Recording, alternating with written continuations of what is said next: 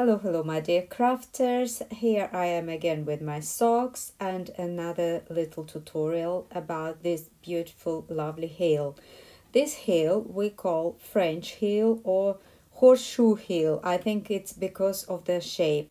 I think in English it's something like a flap and gusset heel, but I can't be sure.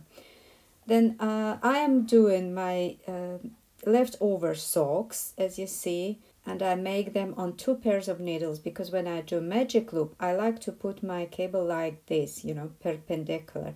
That's why I'm not using that method when you need both socks on a one pair of circular needles. But this is my way. You can uh, do whatever you like.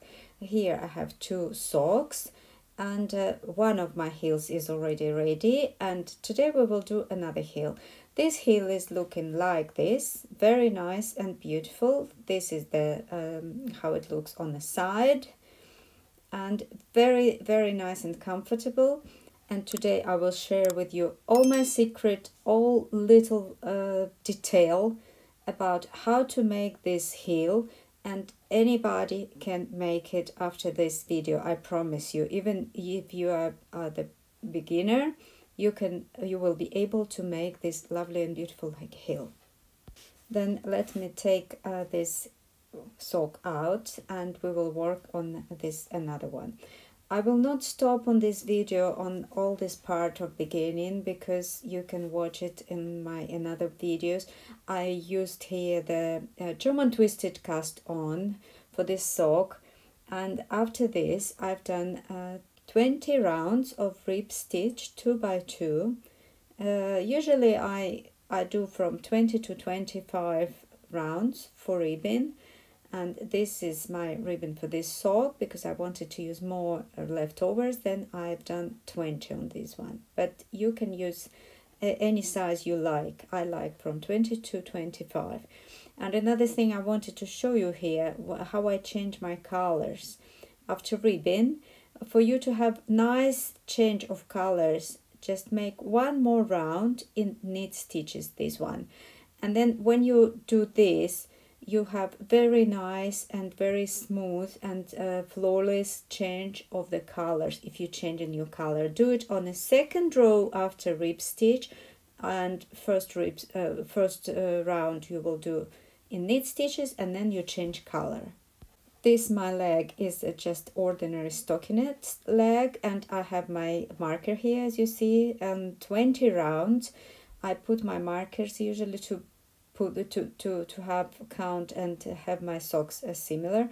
Here i have some um, more rounds. I'm just uh, not counting because i'm orienting for my leftovers and um, this is all up to you. All these uh, rounds you can do bigger size a longer calf and longer leg and this is uh, you start like ordinary sock I will not stop on it on this video because I will focus on this video on the heel. Then for the heel, I use it uh, my first needle. I always do my heel on the first needle. And then I take the number of the stitches on my first needle and this sock is 28 because my sock is 56 stitches. Then half of it is 28 stitches on my first needle. Then I'm knitting in a contrasting color for 28 rounds. And this is for the contrasting color heel because if you do normal uh, French heel it will be a little bit different. Here I just join a contrasting color. I leave the tail because I will hide it later.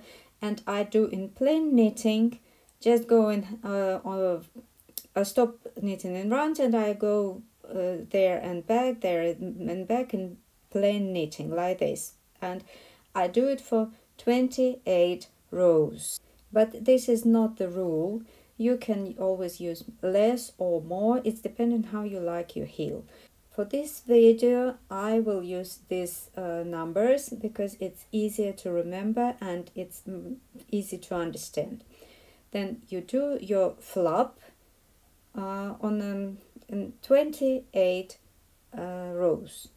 This will be flap of your heel.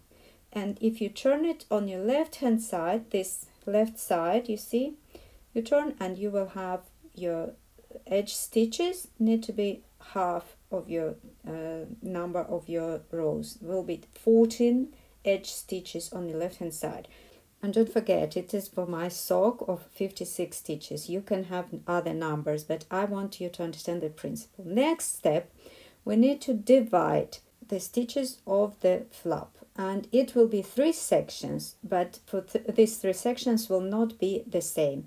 We need to divide the quantity of our stitches in five but my 28 stitches I can divide in 5 then I will round it to the 30 30 I divide at 5 and it's 6 stitches. Why 5 because one section will be in the in the middle and two sections will be on each of the sides. And another important thing on my sides I need to have an odd number of stitches. Then sometimes I like to leave just four stitches in the middle but if I uh, take four stitches from 28 I have 24 stitches and if I divide it in two sections for my sides it will be 12 stitches and it will be even number. I need to have odd numbers. Then for this uh, this gusset I will leave 6 stitches in the middle and then 28 minus 6 is 22 stitches when I divide it in two, I have 11 stitches on this side and 11 stitches on the left side and 6 stitches in the middle. That's how I will divide my stitches for this particular um, uh, flower, uh, gusset, sorry, gusset. Then if you have another quantity of stitches, just remember that you need to have odd number on sides and uh, one fifth in the middle then one fifth in the middle, two fifths on one side and two fifths on another side.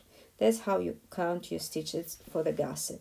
Now let's do it together and I will show you everything in very detail. Then um, we will start knitting our 11 stitches from the side. You can have another number. Then I always slip my first stitch. That's how I have a nice beautiful edge and now I have my 11 stitches of the side. Let's count. It's always good idea to count. And then six stitches of the middle. Five six. And count from another side. Always good idea. And now we need to do uh, two stitches together leaning to the left. It's slip slip uh, knit but as I am doing my stitches different way they they can be like this. In this case you turn them slip slip and knit two together. Your stitches need to be leaning to the left and you do your decrease and next knit stitch. Now you turn your work and start working on the wrong side. This way you need to uh, tie your first stitch and I usually do it when I do second one. Look I do purl stitch and then I tied my yarn. And then in this way I have very tight and nice two first stitches. Then I have two stitches and after this I will uh, purl my uh, six stitches on the middle. Yeah then that was two and one two three four five six. Here is my middle uh, stitches and here I need to do two together. I purl two stitches together but you know because my stitch is already turned right way. On the round right side your stitches need to be your, your decreases need to be symmetrical. Then if you look these stitches will look from center to the edge. And from other side you, you your decrease need to be opposite. Then it will be on the right side. First decrease will be to the right and second to the left. First will be knit two together and other one SSK uh, then here on the wrong side we purl two together and we purl another one after this. Next stitch. And now just count. I have eight stitches. You can have another uh, number of stitches but your stitches need to be now uh, even number. You see I have eight. You need to have the same even number and same number on other side. If you have even numbers on sides after gap you're doing everything right. You turn your work slip first stitch and start knitting. You tight it and you knit till you have one stitch before the gap. This gap is very obvious. Here you are one stitch before the gap. And now you need to do another decrease left linen decrease. You knit both stitches together and you see your uh, stitch from the front is leaning to the left. Then you're doing right. And then you knit another stitch and turn your work. And then you continue working like this. Let me show you one more time on the on the wrong side. You're always work until one stitch before the gap. And then you work one stitch before gap and another stitch after. You just knit or purl them together. And after this you purl another one. And you always have uh, even number of stitches on both your sides. Now you continue with your gusset and I will come later to see what we do. Right we finished our gusset yours should look exactly the same. Now I have 18 stitches on top. You can have uh, the same or other number of stitches. And the side is looking like this here and now we will pick our stitches with the main color on the side of the heel. Heel is done and uh, uh, next step is to pick your stitches on the uh, both sides of the heel. And I will show you this because it's very important and few people can do it and probably you never saw this beautiful way which guarantee you the best result for your heel and this is the contrasting heel because if you do the same color heel it will be different. You will start on another side. But on this heel we are doing contrasting heel and our main color will start from the right side. And let me show you what we will do here. As you see I just left my uh, tail because I will hide it later. And today I will just hold it because it's supposed to be inside of the uh, sock later but we will not touch it now. Let's observe our edge stitches. You need to turn your work and find your edge stitches. Your edge stitches will look on your left hand side. Don't uh, don't use another stitch. Just turn it very well like this and observe your edge stitches like this. Uh, one edge stitch is every two rows. And here you see don't don't use these stitches. Just turn it and see this edge stitches which looks on your to your left side. And now you see each of these stitches have back loop and a front loop. I hope you see well. We will use front loops of these stitches.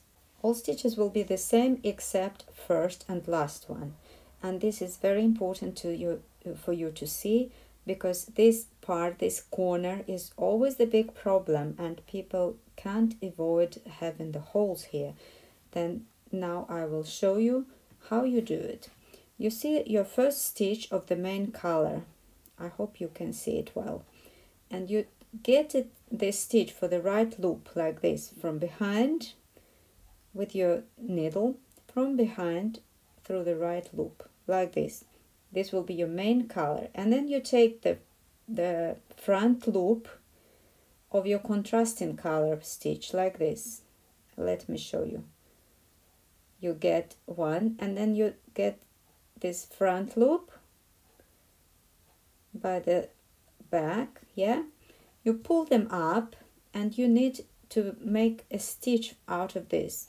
Then you put your needle you take it out and put it back.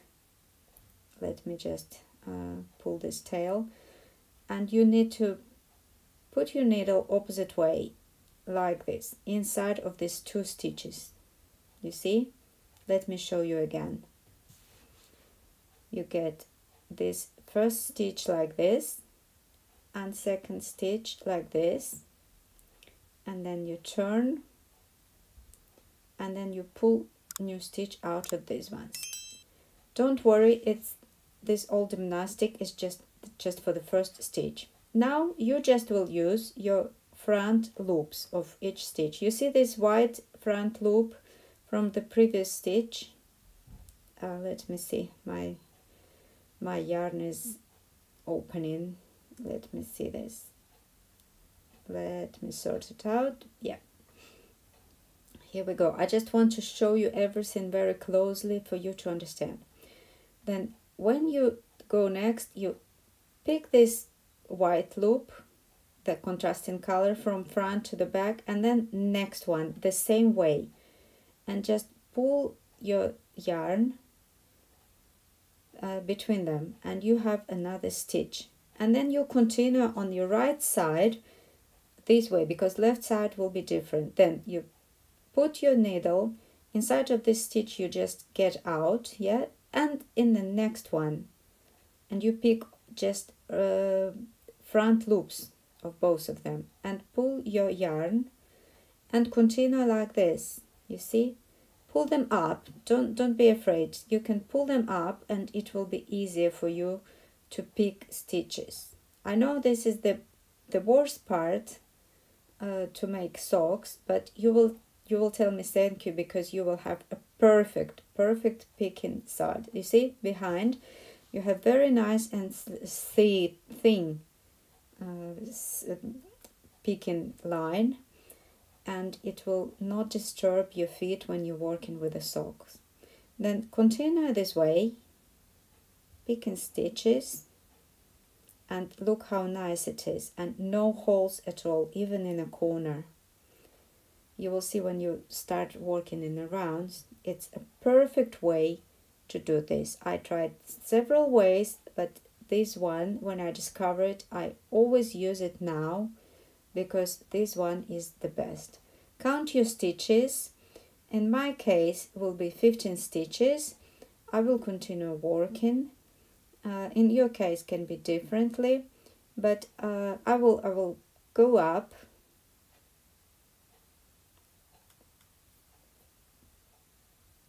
and here I am in the final. I have 14 stitches. I just want you to show uh, where you stop. Then my last stitch let me show you. Here I am.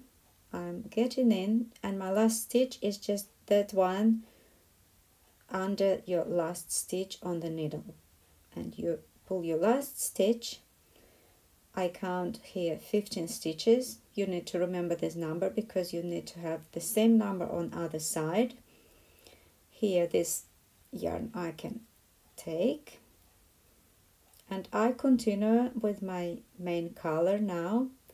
I just knit all stitches on the top. Like this. And working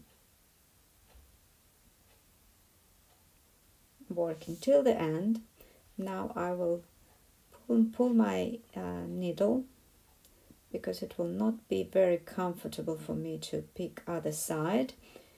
And this way we will now pick stitches from other side and it will be different way and I will show you now the way how you do it on the left side and it will be a little bit different because our edge stitches if you observe them they are looking opposite side yeah? They are looking to the right. And that's why we need to do our front loops different way. And how we will do it first will be a little bit tricky. Enter in your stitch from front to back and second stitch from back to front like this. And pull pull it up. Pull well. And now you you need to have some I can't uh, a little cross between them you see. First stitch will be a bit different difficult. You see this little cross? You pull your needle in and you need to create your first stitch. It will be a little bit difficult. Sometimes I just take my second needle and help myself like this. Look. You just put your needle in and make a first stitch. I know it's not easy but it will guarantee that you will have perfect perfect heel with no holes. Like then next one again the same way. One we just get out and another one. Next one pull up and you see the little cross little arch? I want you to see it very well. Pull up and you enter in this little cross like this and pull your stitch. And your stitches need to be very tight as well. Next one. I know without practice it's a little bit difficult but I am guarantee I guarantee you that result will worth it. I I can do it quite fast now you see. Just continue like this. From front to back back to front and then go inside of the little arch and this is the way to pick your stitches and they will be exactly the same as they are on the other side.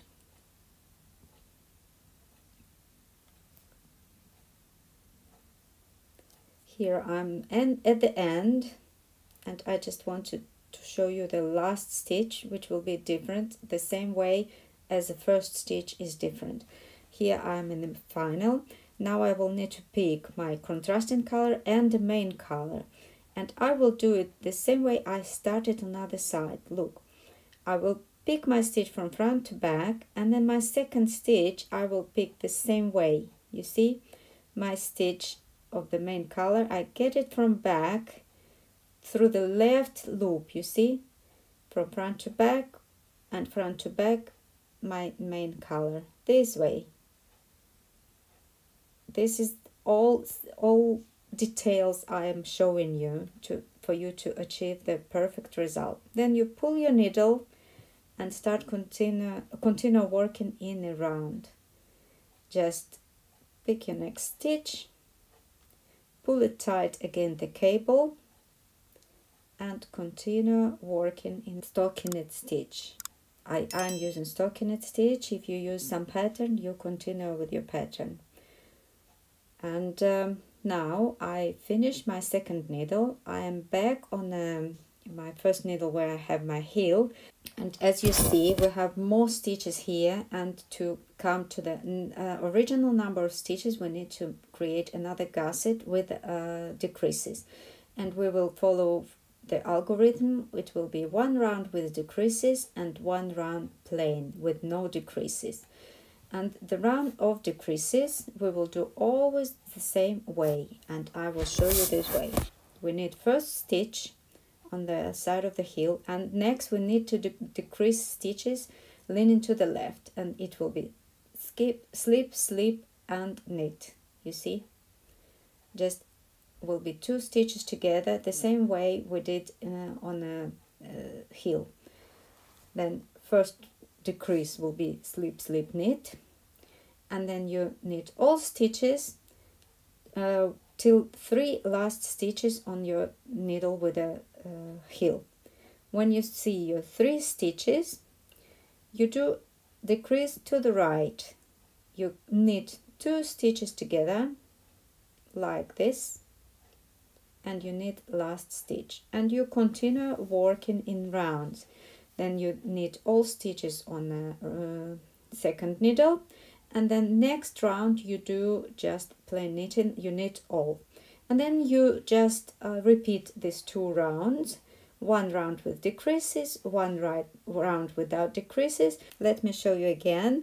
You knit first then ssk and in the end you knit two together to the right and one stitch. And then finish the round another round with no decreases and continue like this till you come to the original number of stitches. In my case it's 28 stitches here and 28 stitches will be on other side and that's how you finish your heel and continue working with the foot and you will have the most beautiful and perfect heel ever.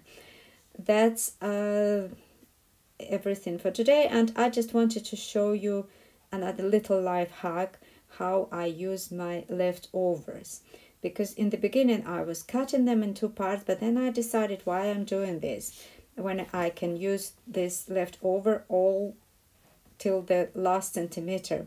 This was very small leftover and uh, you can have bigger one. Only thing you need to have access to both ends of your uh, piece of yarn then as you see I have one from uh, outside and one from inside and I just work my both socks and in the end I just cut it in the middle and join with another leftover. Then you take your piece of yarn and take both ends and you join your end one uh, one end from the out to one side one sock and another end from inside to another sock and you will work them like two rounds on one sock two rounds on another one. And when you finish you come to the ends you just cut it in the middle and join another piece of yarn. That's how you can use all your leftovers. I hope you like this life hack and i will see you in my in the next videos. Don't forget to subscribe to the channel. Put like i am doing my best for you and I am very happy that you come and watching my videos and learning knitting which is an amazing art. See you next videos.